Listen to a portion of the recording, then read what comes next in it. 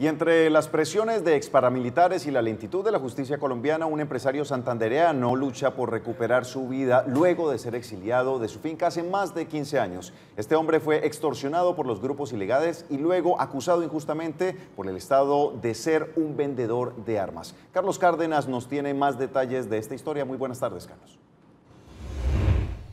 Buenas tardes compañeros en el estudio. Pues una persona víctima de lo que ha sido la violencia paramilitar en Colombia asegura que el Estado y el programa de restitución de tierras no defiende a los afectados por la violencia. Una cosa es ser víctima de la violencia y otra cosa es ser víctima del sistema de justicia. En este caso, Sebastián Álvarez es un claro ejemplo de cómo los grupos ilegales y el Estado colombiano victimizan a un ciudadano. Como víctima quiero decirle que totalmente estamos em, aislados de ellos. Las víctimas van en un camino prácticamente, eh, unos van para un embarcadero que van hacia la muerte, los que vienen en el Magdalena Medio, porque ellos son líderes y no tienen ningún respaldo de la justicia. Y los que estamos aquí en las ciudades nos respaldamos con un chaleco antibala, que es este, ¿Y de qué nos sirve? Ah, de nada. Sebastián salió de su finca hace un poco más de 15 años, huyendo de los paramilitares. El grupo ilegal lo expropió de sus tierras y puso en peligro su vida y la de su familia. Este hombre acudió a la justicia colombiana y a través del programa de restitución de tierras exigió su reintegro, pero solo encontró una acusación de la fiscalía.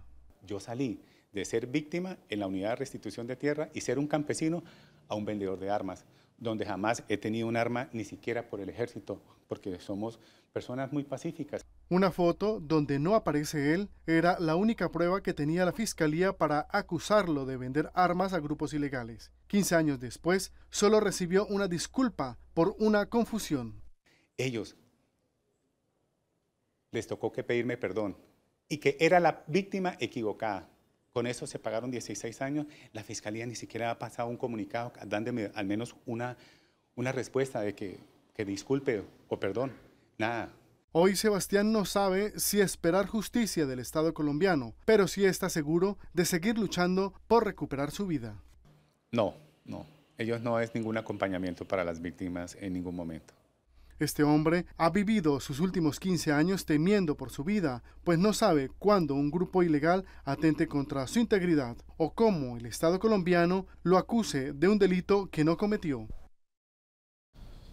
Consultamos a los representantes de la Oficina de Restitución de Tierras aquí en el nororiente colombiano, pero hasta el momento no han dado una respuesta al respecto. Eso es todo por el momento. Sigan ustedes en estudio.